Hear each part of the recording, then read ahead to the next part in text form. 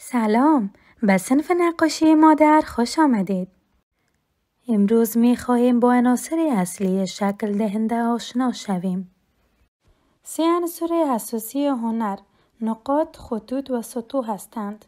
در بالا نقاط با رنگ های مختلف وجود دارد. در زیر آن هم یک خط وجود دارد.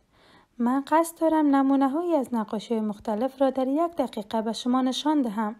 و امیدوار هستم بتوانید خطوط مختلف آنها را مشاهده بکنید.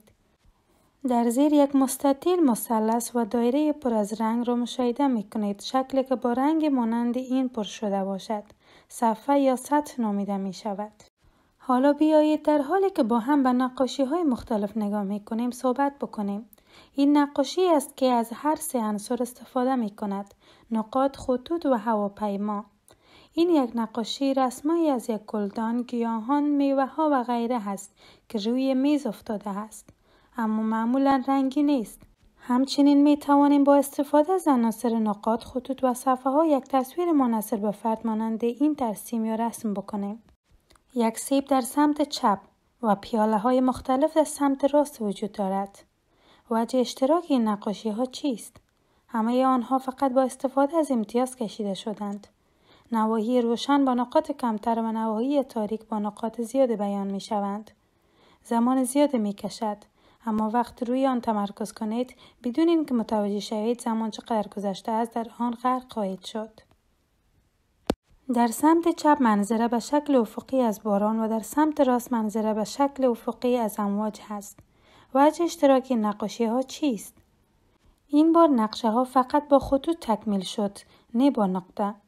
در واقعیت شکل ابرها و امواج به این شکل نیست اما بسته به قلب کسی است که آن را ترسیم می کنند. می توان آن را به سادگی با بیان ویژگی های اصلی هر موضوع ترسیم بکند. در اینجا در سمت چپ گلها و در سمت راست یک دست وجود دارد. این هم یک نقاشی است که فقط با خطوط کامل شده است. اما احساس متفاوت با نقاشی های قبلی دارد.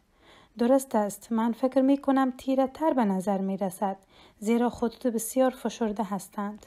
هر دو نقاشی با خطوط بیان می شوند اما اگر دقت بکنید تفاوت وجود دارد. می بینید که گلها فقط در خطوط مستقیم بیان می شوند در حالی که دست فقط با خطوط منحنی بیان می شوند یک خط مستقیم مستقیم می رود و یک خط منحنی خم می شود انحنای دست جالب به نظر می رسد زیرا شبیه اثر انگشت هست. این دو امواج را بیان می کنند اما این دو نقاشی کاملا متفاوت هستند. درست از تصویر سمت چپ امواجی را که از دور با هم عبور می کنند و تصویر سمت راست امواج ظریف را که خیلی نزدیک به هم تصادم می کنند حتی زمانی که ما یک موج را بیان می کنیم می توانید ببینید که بسته به نوع مشابه بیان و بیان آن تغییر زیادی می کند. بیایید این بار به منظره های جالب تری ببینیم. در سمت چپ یک قریه و در سمت راست یک دریا هست. اگر به خطوط بیان کننده به زمین قریه در سمت چپ و امواج در سمت راست ببینیم می توانیم منحنی های نرم را در کل احساس بکنیم. در واقعیت قریه ها و امواج این قسم به نظر نمی رسند. اما هر کس می توانند با تصور آزادانه آن را نقاشی بکنند. لوحه سمت چپ را کجا دیده؟ این نقاشی معروف ونگوک شب پرستاره هست. از آنجایی که این نقاشی بسیار معروف است افراد زیادی آن را رسم می کنند تصویر سمت راست تری است که شخصی از کار ونگو کشیده و فقط از خطوط استفاده کرده است. با وجود این که فقط با استفاده از یک قلم سیاه بیان شد آیا منظره سه بودی به نظر نمی رسد؟ دلیل آن این است که هرچه مناظر نزدیک تر باشد خطوط بیشتری برای تاریک شدن آن ترسیم می شود و هرچه مناظر دورتر باشد خطوط کمتری برای نرمتر شدن آن کشیده می شود. این دو تصویر منظره را نیز بیان می کنند. آیا می توانید تفاوت خطوط بیان شده در دو تصویر را تشخیص دهید؟ در سمت چپ می توانید فرد را در سرک با چتری ببینید. یک روز بارانی بود بنابراین به صورت ابر و تاریک بیان می شود. اگر به دقت به خطوط ببینید می‌بینید که خطوط کوتاه بسیار دسته منظم هستند. از سوی دیگر تصویر سمت راست یک منظره هست که بر روی یک ساختمان متمرکز شده است تا یک منظره طبیعی و می توان گفت که خطوط مستقیم زیادی به طور کلی استفاده شده است. زیرا ساختمان به دلیل ماهیت ساختمان سخت و محکم است. همچنین می توانید ببینید در حالی که تصویر سمت چپ خطوط را در جهت های مختلف ترسیم می کند تصویر سمت راست خطوط را تنها در یک یا دو جهت بیان می کند و همچنین یک قسمت برای تاکید بر رنگ سرخ است. اینها نقاشی های بسیاری از الگوهای مختلف هستند که با خطوط ساخته شده اند.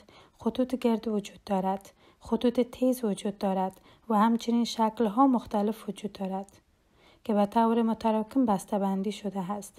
اگر به فرش، لحاف، پرده، بشقاب و غیره نگاه کنید، حتما الگوهای مختلف از این دسته را دیده اید. اگر ترسیم خطوط مختلف از این قبیل را تمرین بکنید در آینده کشیدن برای شما بسیار مفید خواهد بود. این چگونه به نظر می رسد؟ این طرح از یک شی خاص نیست که نمایانگر ظاهر آن باشد. برخی ممکن است این را ببینند و احساس کنند که نوی ایوان است. برخی ممکن است احساس کند که این یک طبیعت است و برخی دیگر ممکن است احساس کنند که این یک احساس خاصی را ابراز می کند. به نظر شما بیانگر چیست؟ از تخیل و خیال خود استفاده کنید و به آن فکر کنید. شما هم نمی توانید بگویید که این چه چیزی را بیان می کند. درست از به مانند خط خطی هست. اگر به این تصویر دقیق ببینید می بینید که نقاط خطوط و سطح همه آزادانه با هم مخلوط شده اند. درست مانند اینها طراحی لازم به معنای ترسیم یک شی خاص به شکل ظاهری نیست. گاهی اوقات شما عمدن چیزی را که می‌خواهید بیان کنید حذف می کنید. تغییر می دهید یا تعریف می کنید در حالی که به چیزی که می خواهید بیان کنید فکر می کنید و تصور و خیال می کنید. این نقاشی و رسامی نیز مانند خط خطی است در دید اول ممکن است به نظر برسد که با عجله و بدون هیچ تلاش کشیده شده است اما قضاوت در این مورد برای ما خیلی سخت است شخصی که این را کشیده است ممکن است آن را با تفکر زیادی در مورد آنچه می‌خواهید بیان کند ترسیم کرده باشد اگر به تصویر دقت کنید می‌بینید که نقاط خطوط و سطح کاملا با هم مخلوط شده است فکر می کنید این چیست؟ چه احساساتی به شما می آید که به شکل آزادانه خیال و تصور بکنید؟ بیایید به این دو تصویر ببینیم. آنها نقشه های منظره کاملا متفاوت از موارد قبلی هستند. بزرگترین تفاوت با نقاشی های قبلی چیست؟ درست قبلا رنگ نبود یا فقط چند قسمت رنگی بود ولی این دوتا پر رنگ می توان گفت که این عناصر صفحه هست. بنابراین پر از رنگ را می توان به عنوان پر از سطح بیان کرد.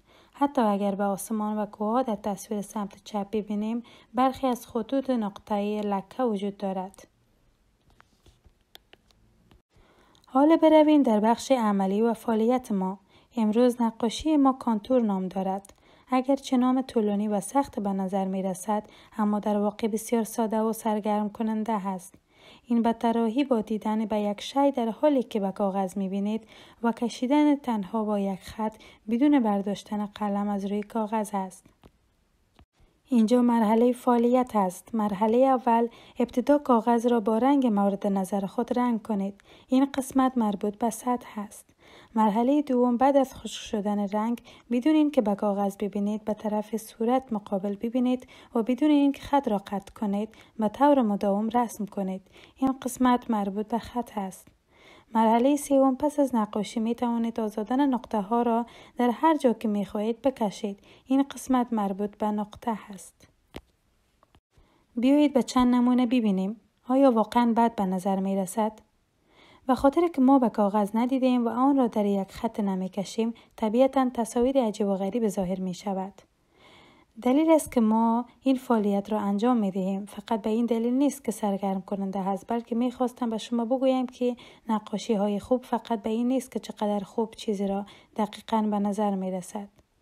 بنابراین حتی اگر نمی توانید خوب نقاشی کنید امیدوار هستم نترسید.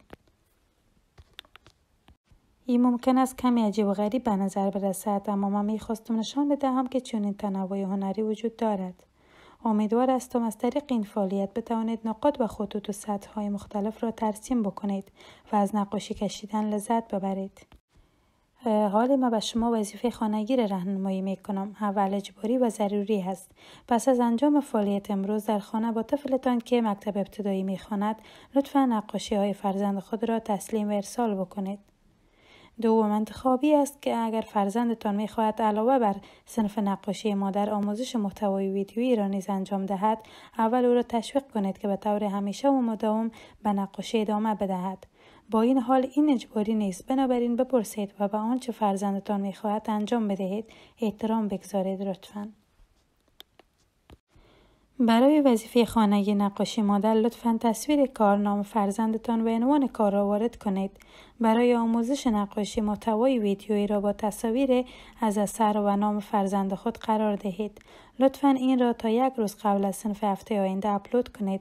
اگر فرزندتان در صنف کدام سوال می‌پرسد و سوال دارد در تلگرام می‌تونید بپرسید. خیلی خوشحال بودم که امروز با شما صنف داشتم. از اینکه در این شرکت کرده بسیار تشکر می کنم.